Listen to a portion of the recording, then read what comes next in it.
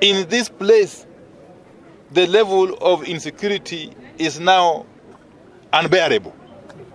Our people here can no longer even keep livestock, especially cattle, because of rampant cattle theft.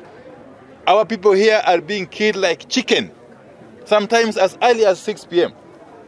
Especially my youth, the boda boda riders, are really facing serious problems of insecurity.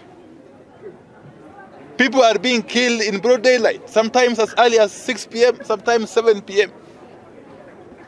And they can't actually walk freely in their own neighborhoods as a result of the skyrocketing levels of insecurity.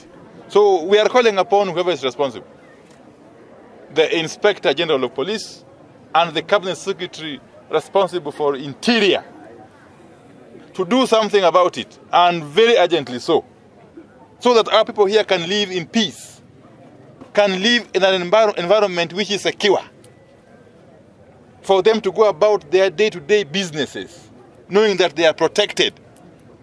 The cardinal responsibility of any government which is in power, regardless of how that government came to power, is to protect the lives and property of Wananchi. If a government cannot protect the lives and property of its people, then that government has got no business remaining in power. It should simply quit.